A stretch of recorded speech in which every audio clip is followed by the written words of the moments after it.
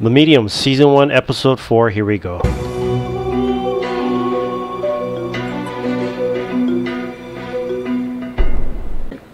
Really? Mm-hmm. I've noticed she spends a lot of time alone playing by herself. Is she like that at home? Okay. All right, so um, I haven't done one of these for the medium for so long, I forgot their names. Allison Dubois. Yes, okay. So she was brought in by um, her youngest daughter's uh, teacher, and they are concerned because uh, she plays by herself or possibly with an imaginary friend. Um, Allison Dubois is a medium, and is there a possibility that the daughter might be as well? Hmm. Doesn't seem to have many friends. To be perfectly honest, she doesn't seem to have any friends. The other kids, they avoid her. Okay. All right. So if you're the outcast, it doesn't matter if you're in kindergarten or uh, in college. If you're the outcast, nobody wants to hang out with. You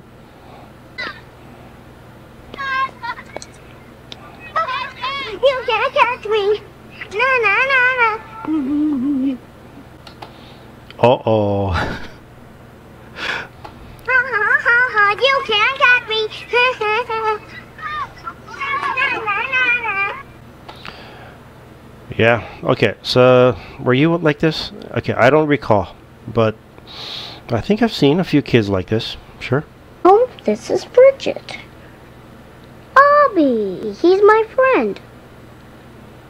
Oh, she wants to. All right. so, uh, they asked uh, the youngest daughter uh, what is his last name, and they decided to look them up in the phone book, phone books, and they dialed the na- they dialed the number, and uh, this is what happened. I'm sorry. I'm terribly, terribly sorry. So bad news. What's going on? He's dead. Oh my god, what happened? Five years ago. All right. Imagine that someone calls up. A little girl says, "Hi, may I speak to your son?" so obviously they think it's a prank, but uh, I don't know if that little girl was even born. No. So, yes, her youngest child can see spirits, but um, all young children, usually before the age of seven, they are mostly uh, what was it now? Right-brained. I've forgotten already. Okay, so they're on the creative side. th- They have access to their abilities. Once they start going to logic, um, that's when they forget uh, or they lose their abilities because they start learning logic. Yes. Do you think she knows? I doubt it. She probably just thinks he's another kid on the playground. Yeah. Okay. So let's let's think about that. Okay. Uh, everyone assumes that when you see spirit, it's a full body apparition. It looks just like a human. No. they look different, and they look different to different people. Uh, and deep, everyone has their own perspective, and they will look different to different people. Yeah. So. Now, some spirits can show up looking like a human being, but some will be uh, faded. Some might be white. Some might be dark, look like smoke, a haze. It just depends. Yeah. We have to do something about this. I know. All right, okay, fine. So we're on the same page then. Okay. So your options if you have a child like that, you can mm, let it go and hopefully she'll forget because she's in school. Logic might make her forget. Or uh, I know uh, my mentor. She is from originally from Taiwan. Uh, she said once a child gets to a certain age and they see that they have certain abilities, they take them to this special place. They have this special ceremony done and they remove their abilities. Yes. So I had no idea that that was going on, but that's what I was told. Yes. So there are other ways to remove your abilities. Uh, if I wanted to remove my my own, no, I don't think I could do that. I haven't tried it, but no. But um, certain people with access to different uh, higher dimensional guides, uh, they are fully capable of uh, removing or stripping you of your ability. Yes. So, any thoughts as to why a six-year-old boy who's been dead for five years should choose to hang around our daughter? He's drawn to her because she can see him. That's all. Okay. Yes. All right. So, um, if you're clairsensitive, okay, so human eyesight, you look you look like a regular human being. Okay, nothing special. Spirits see energy, and when they look at certain people, special clairsensitive people will shine a special light, and that is why they are drawn to you. Okay, so maybe they're looking for someone to talk to, someone they can uh, relate to, or nobody can hear me, but only you. Sometimes you have a special glow and they want your energy. Yes. So, several reasons. Yeah. Oh, I don't know. I'm just proud of her. Please. I wouldn't wish the way I see the world on anybody, least of all my own daughter. So what's next? All right. Okay, so, uh, would I want my children to have uh, their abilities? That is something I would have to really think about. Um, okay, there are clairsensitive people out there that are, how shall I say, they're not bothered by the spirit world. They get some contact, but nothing huge. And there's people like myself who has seen the horrors that the spirit world does has. I don't care what any other spiritualists say. They make it seem like it's so beautiful. okay, there are things out there that are not nice, and I got to see the best and the worst that it has to offer. Would you let your five, six year old see the things that you have seen? What would that do that to them? What what would that do to them? How would that shape their personality? So, uh, me, myself being the parent, I would have to really think about it. And I would have to confide with my guys to see if it is the proper course, the proper action to strip them of that of, of their abilities. Yeah. So, um, uh, that is something that I myself at the moment uh, is dealing with. You two have polluted the gene pool. Didn't mean it like that. How else could you mean it? How do you know she's not going to outgrow it? Sorry for polluting the gene pool. All right, so um, what do I have to say with that? Uh, okay, well, since I'm doing this, might as well get personal. All right, so myself, I am special. Uh, my other half is also special. Yeah, so it is already seen that our children will also be special and exactly my same light. So there's a good chance my offsprings will have my abilities or abilities in general. So uh, we'll see how they grow up and if I notice or see horrors around them, something trying to take advantage of them, then obviously as a parent I'm going to have to stop that. And just because you see one ghost doesn't mean you see every ghost. If You say so. Just because you have one dream that seems to come true doesn't mean every dream comes true. Yeah, so that is true. Some dreams do have meaning, some are random. And you the special person. Uh, it, it- when you had it for a few years, you kind of like brush it off, or uh, some is random, uh, some has meaning. But uh, I know my students that are fresh, brand new, they're training, and they take every dream literal. Then I have to tell them, just relax. It's not going to happen. You like somebody else at school? No, Mommy. The other kids are mean. All the other kids are mean. All right. So uh, this little girl is seeing the fully manifested form, um, and she cannot tell the difference. Okay.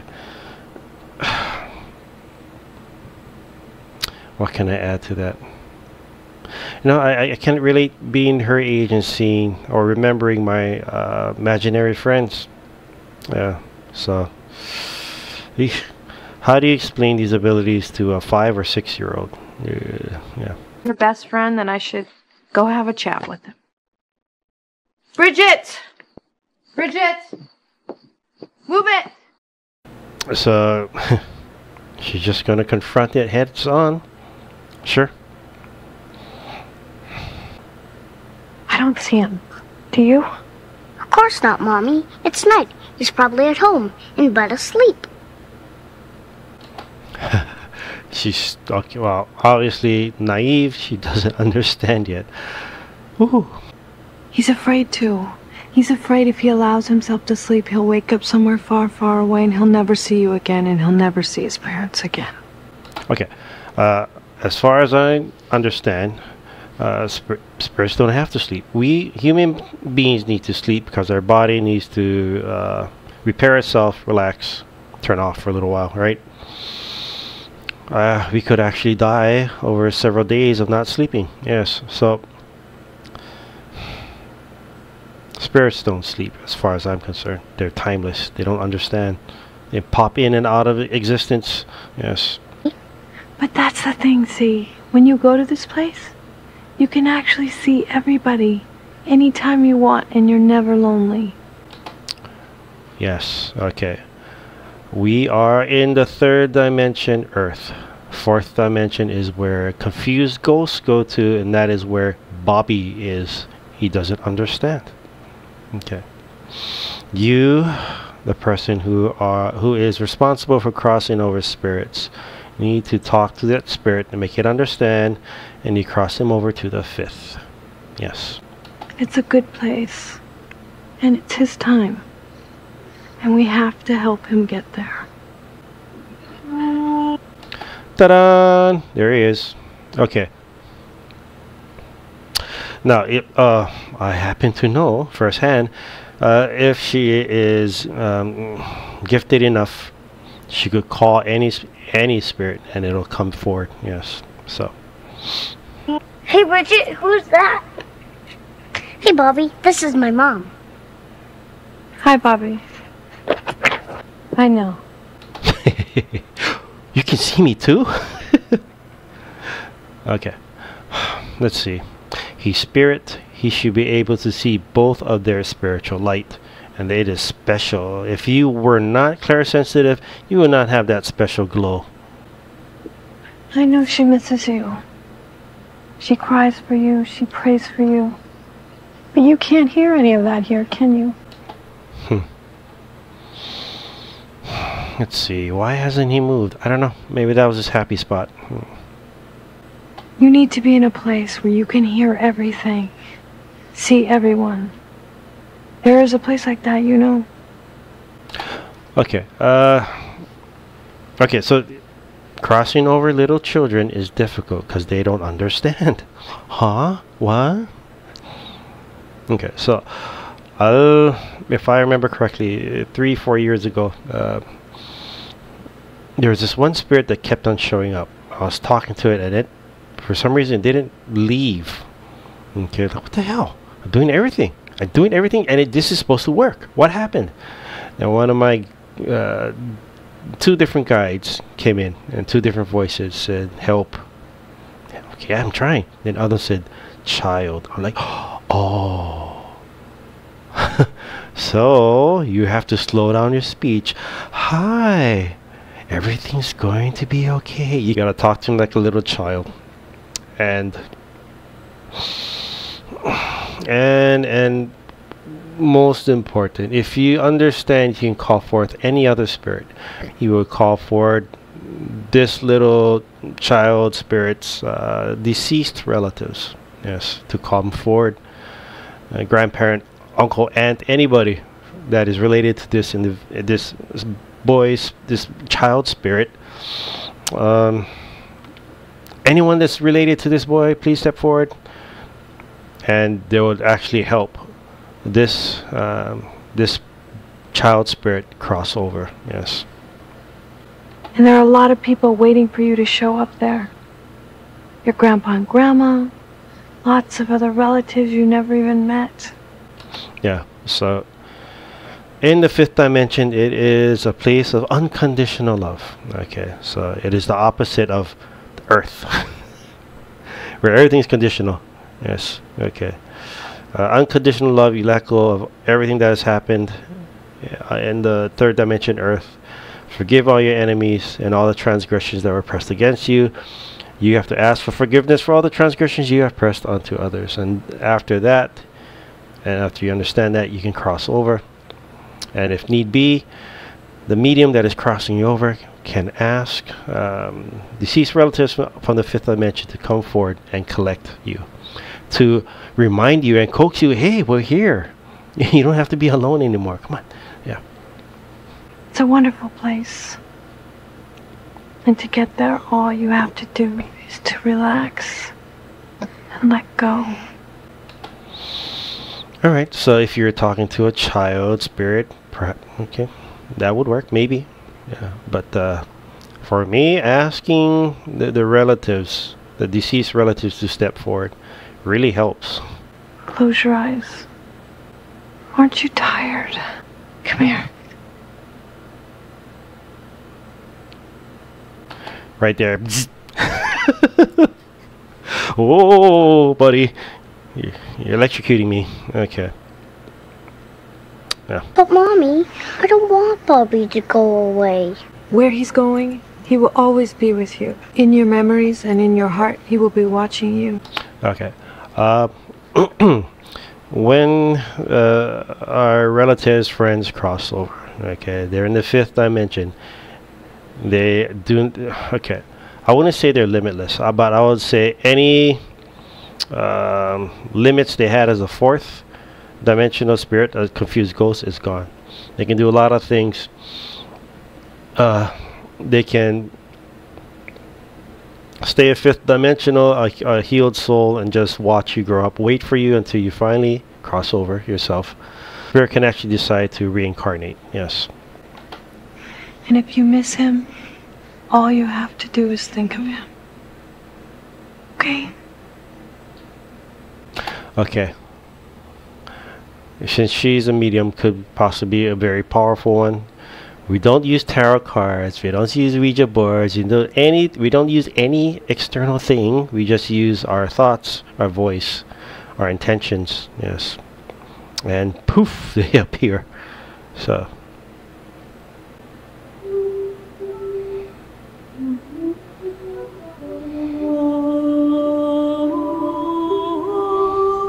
All right, so that is the end of this episode. Okay, there is a lot more uh, video that I cut out, but I wanted to keep it short, direct to the point. Okay. All right, guys. Sorry for missing the names. You know, it's been a while since I did a, a medium episode. All right, guys. Take care. See you in the next one.